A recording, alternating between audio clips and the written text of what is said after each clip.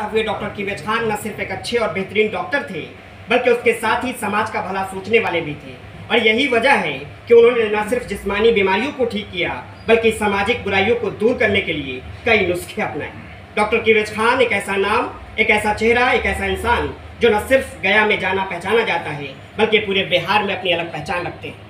कोलकाता से मेडिकल की पढ़ाई करने के बाद वो गया लौट आए और वहीं उन्होंने अपनी प्रैक्टिस शुरू कर दी।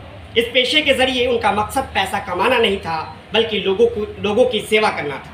वो जात पात धर्म, भाषावाद, क्षेत्रवाद से ऊपर उठकर बस लोगों का भला सोचने वाले थे।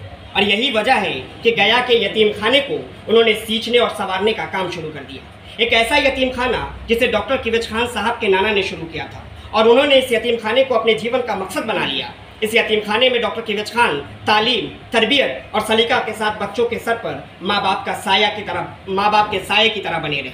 यहाँ पढ़ाई के साथ बच्चों को, खासकर लड़कियों को अलग अलग स्किल सिखाए जाते हैं, ताकि इस यतीम खाने से निकलकर कोई किसी का मोहताज नहीं रहे, बल्कि अपने पैरों पर खड़ी हो सके। एक बड़ी दिलचस्प बात है कि जब इस यतीम खाने की बुनियाद रखी गई, तब मुस्लिम जमींदारों ने इसका विरोध किया था। लेकिन एक हिंदू राजपूत महिला ने अपनी दो बीघा ज़मीन देकर इस यतीम खाने को मिसाल दो बीघा ज़मीन देकर इस यतीम खाने के लिए देकर मिसाल कायम कर दी। उस राजपूत महिला ने पूरे समाज को संदेश दिया कि अगर कोई समाज सुधार का काम कर रहा है तो फिर उसमें जात और जाति और धर्म ढूँढने के बजाय उसका हौसला बढ़ाना और उनकी मदद करना ही असली मकसद होना चाहिए। जब आपका मकसद समाज सेवा हो और लोगों की खिदमत ही आपका पेशा हो तो आप मर भी जाए तो ज़िंदा रह ज़िंदा रहते हैं। और यही वजह है कि डॉक्टर किवज खान इस दुनिया को अलविदा कह गए तो उनके जनाजे में लाखों लोगों की भीड़ उमड़ी। भीड़ इतनी कि गया का गांधी मैदान स्टेडियम छोटा पड़ गया, जिसकी वजह से दो जगह उनके जनाजे की नमाज़ अदा की गई।